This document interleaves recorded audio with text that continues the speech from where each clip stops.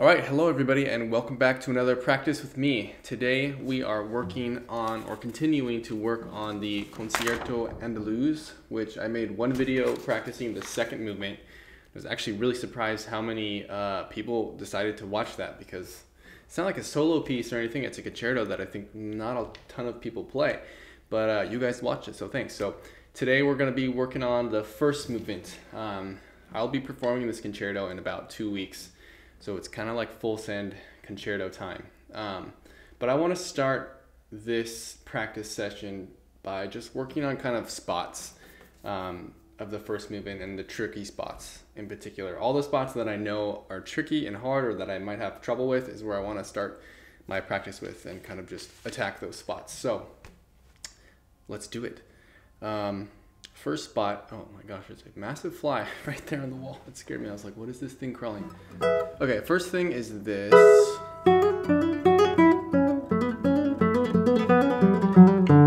You have these little kind of hammer on and pull off run.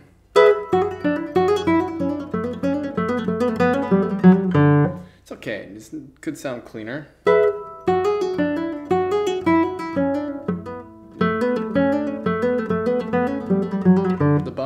This is you have this this shift.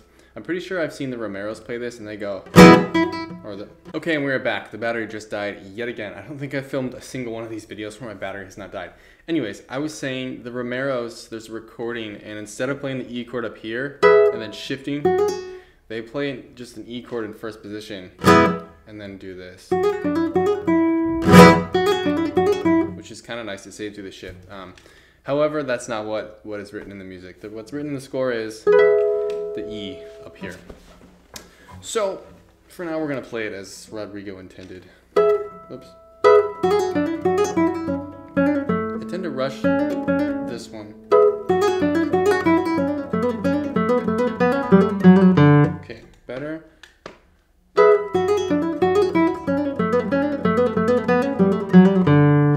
Okay, that's fine. Next spot is where I have the melody. This is actually not a tricky spot. What makes it tricky though is that I'm exposed here. I just have a simple melody, but it's like a melody that you cannot miss because if you miss, it's gonna be super, super obvious. So I have this right before.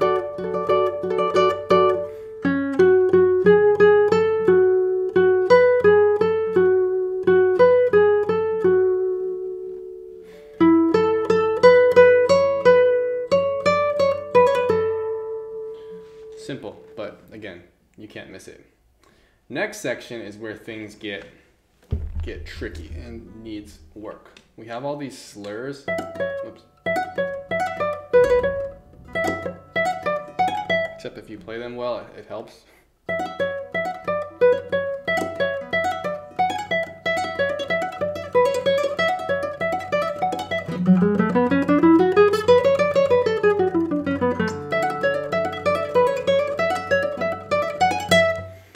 That's one of the tricky spots right there, as you can see.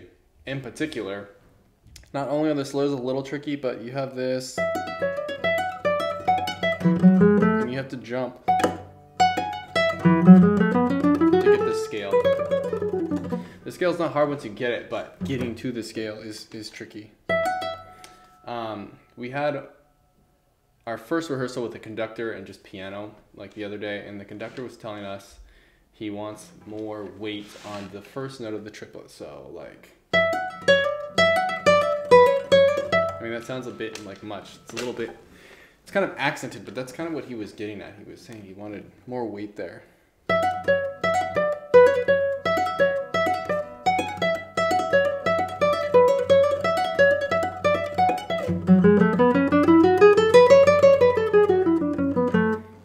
That's supposed to be a little more of a swell. Ugh.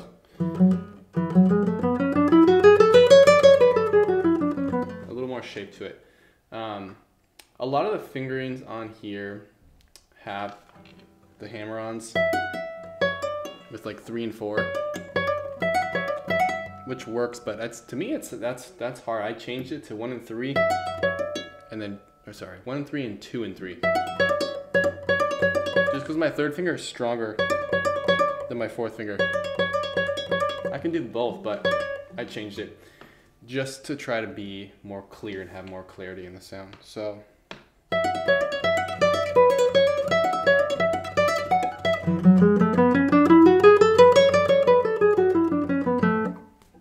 My secret that I like just recently figured out how to do that is you hear this a lot actually with with professional guitarists. Um, usually when, when you're taught with your left hand it's like you always need to play on your fingertips because it's super important which it is especially when you have chords and things. If you play flat fingered it's going to touch one of the strings and they're not going to ring. But there are instances and there are cases where you actually do want to break the rule and you want to play flat fingered and this is one of those cases where i, I was i was kind of hit or miss with this shift. Right sometimes i would miss it like that because i'm trying to play on my fingertip but it's hard because I'm coming from this E and my thumb is is like already pretty low on the the neck. And so when I go back to shift, I'm just kind of like free floating. Sometimes if I have big big shifts, I like to have the palm of my hand touch so I can use the neck as a guide, but I don't have that in this case. So the solution is this. Instead of just trying to land perfectly on my middle finger, fingertip, I play flat fingered like this so that I have like this huge target that I can ideally not miss that note. And it's and it's one note. I don't have to play a chord or anything so it's it's legal so to speak. And then once I get that the rest of the scale is like normal. So that's what I just just recently came up with and was like oh that's that's a possible solution the other solution or fingering is to do this, is to go, um, and then do a 2-4 here, like this. What that avoids is instead of me having to go, I'm doing this where I go 1, 3, I shift, and then I have to shift again. So there's like these two shifts. That's what makes it tricky. If you do this fingering, and you go two four, then you don't you don't have two shifts. You just have one shift. So I've been practicing both, and I think I'm deciding to to do it the original way that I was practicing because I don't want to change it, and and because again I end up with the fourth finger up here, which is just a slightly weaker slur than it is with one three.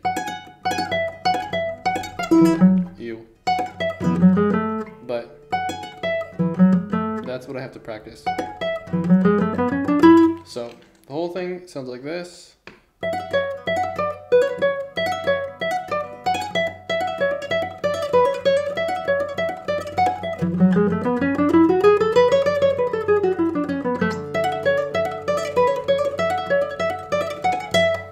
And then the other parts have uh, a scale. But man, even after this scale, oops. There and I missed it. So boom. Oh my gosh. Um, I'm hearing this like D for some reason. It's overringing really loudly. Ah, okay, I know why. Because my A is here. When I release my finger, um, I'm, I'm making the D string sound. So. But the reason that is is because I have to get up there so fast. See? Maybe I could stop it with my thumb. That's an option. So I'm here.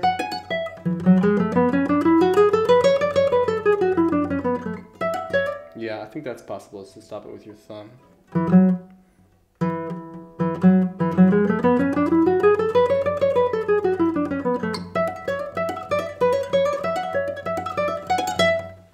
Go to the next section.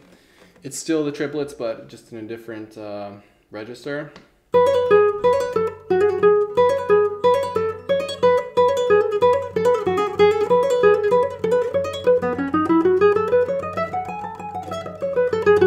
This one's not as bad because you don't have a, a crazy shift like right after the triplets.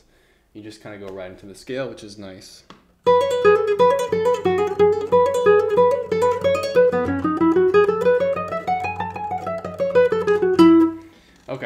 So that's that. That's probably one of the more tricky sections in this first movement. Then we get to the next kind of big chunk, which is just like an entire page of scales for me that like is nonstop.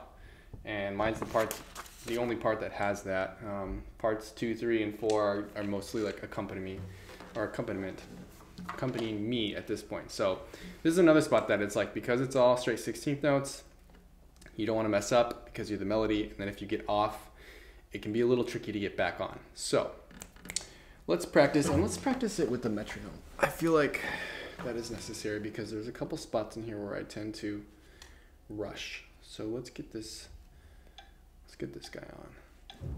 I think we're at, we're supposed to be at 98, which is not slow by any means. Okay, let's try this. Okay,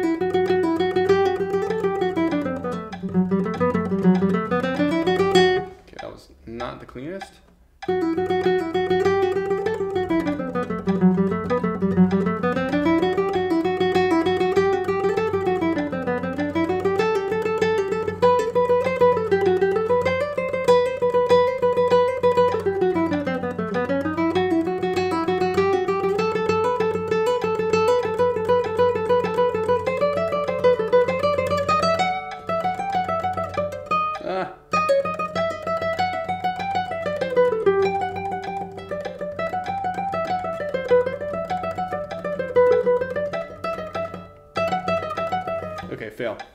Tricky, there's a really tricky thing here is I have to start with my M finger, and if I get off at any point, there's this awkward string crossing. If that if I'm off, I have to go I I M like this.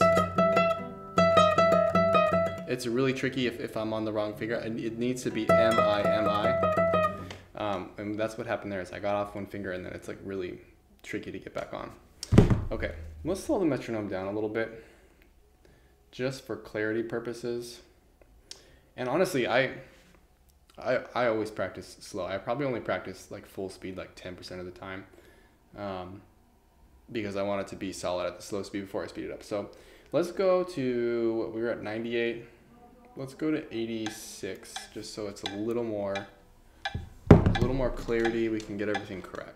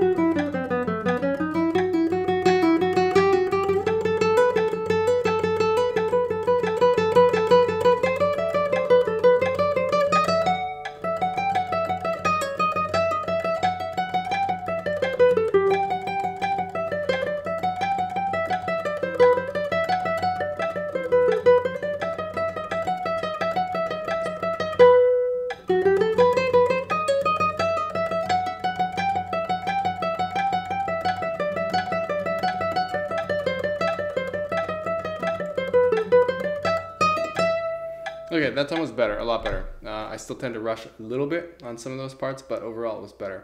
The other thing too is like I wanna, I wanna phrase this more. Right now I'm like really focused on just not playing wrong notes and playing in time, um, which is fine, but it doesn't sound as like lyrical and as phrased as it probably could. So that's something that I could improve upon. But that was a little better. Let's let me do that one more time. It's also like a focus game too, because like I said, entire page, 16 notes, pretty much nonstop and you have to be focused the whole time. Let's try that again.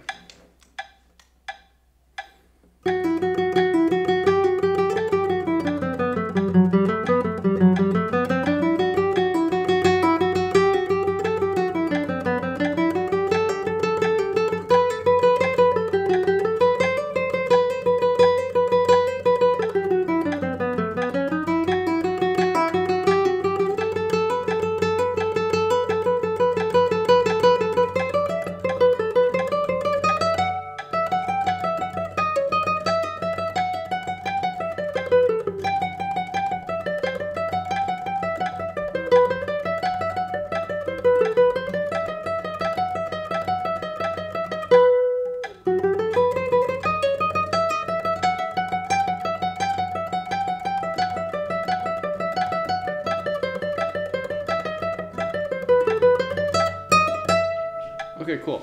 We survived. We got both of those two times in a row. That's good.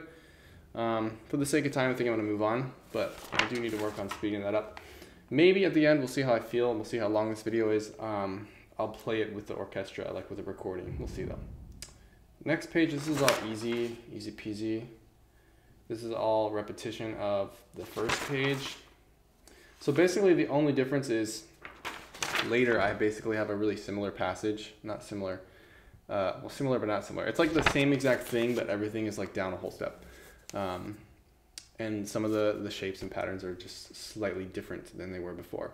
So this is the next section that needs a little bit of work. Let's do it with the metronome seal.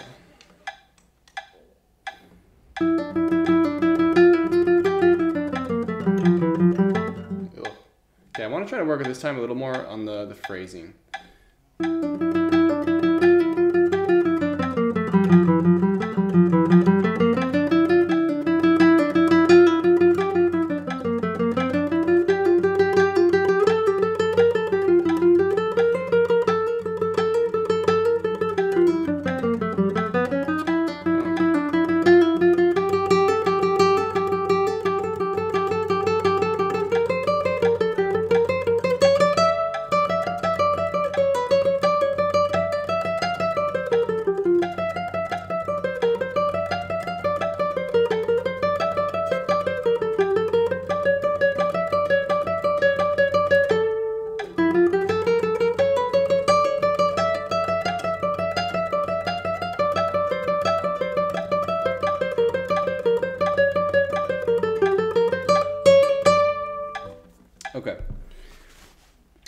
not bad. There's this one part that I, I, I, mix up the that previous scale page and I mix up this previous this current scale page with this one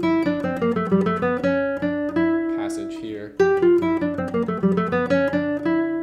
There's a similar one in the other. I mean, it's like it's this. It's it's uh yeah. It's just weird because when it, the scale descends and then when it ascends again, we have like this um, melodic minor where it's, it's C sharp and D sharp and then E. But in this one, it's C sharp and then it's D natural instead of D sharp. That's that's what confuses me about those two. They're like super similar but not exactly. Anyways, let's try this whole thing one more time. Let's see if we can get this. Okay,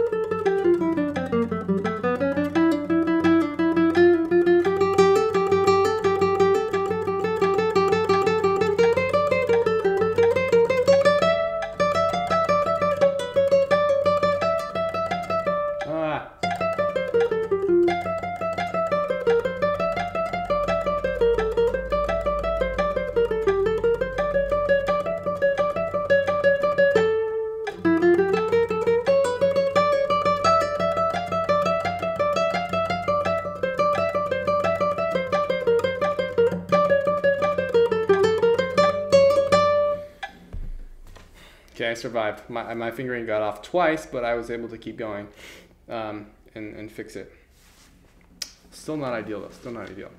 I'm gonna move on just for now for the sake of time, but I'm gonna come back to this, conquer that section.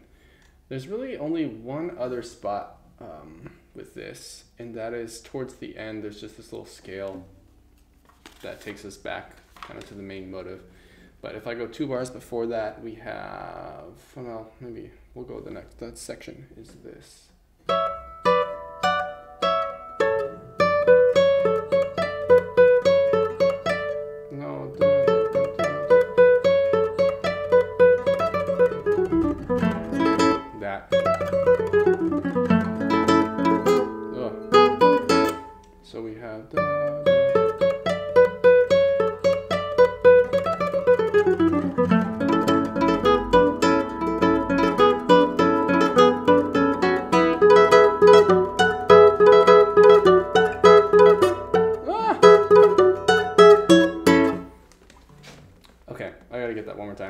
That's that's how the piece ends, and you can't mess up the ending. That would not be pretty. Let me try that whole section. So we have.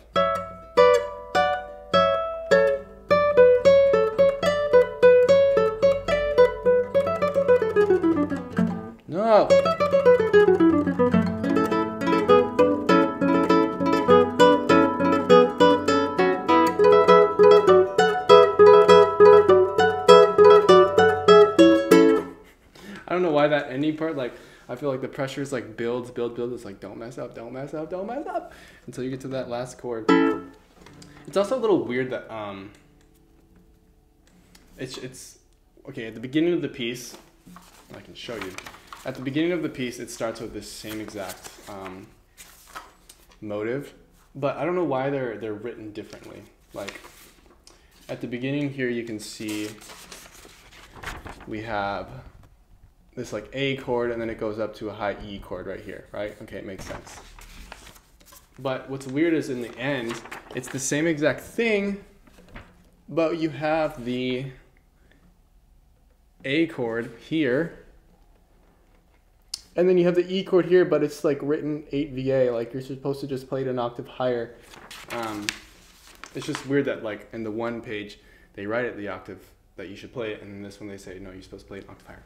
It just like mentally is weird. Anyways, let's see how we're doing on time. Okay, it's been 20 minutes.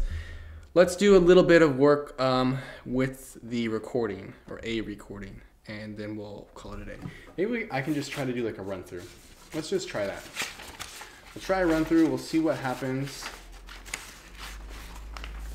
See if I can nail the entrances or not, and we'll go from there.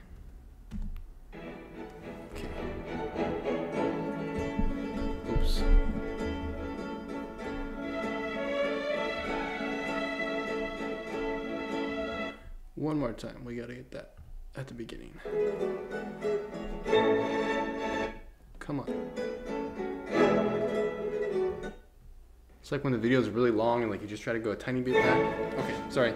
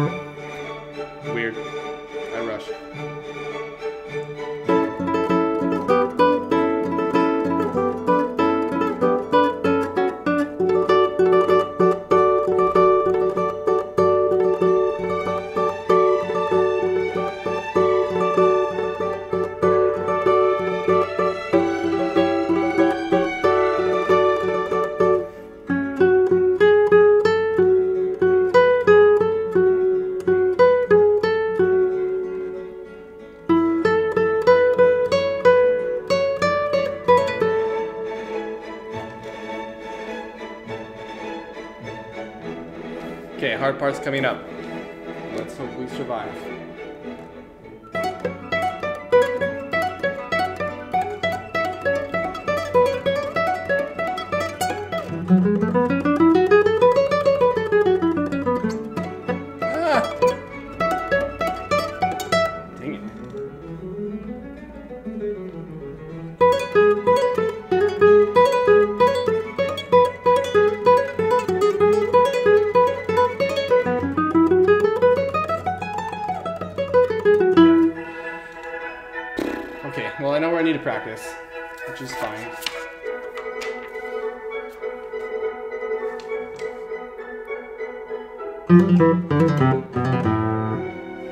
It's also good. This is like added pressure when I have a camera on me versus when I'm just practicing by myself. So thank you for watching because it helps put pressure on me.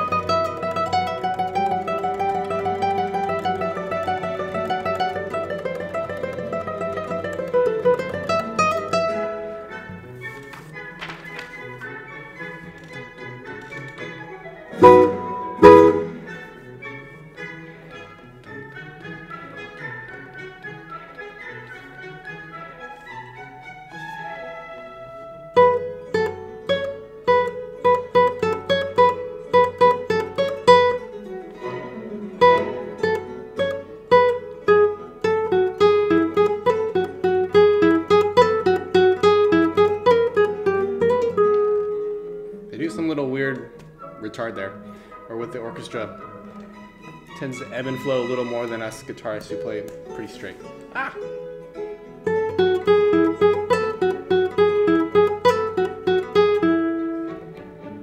Also not in tune with the guitars.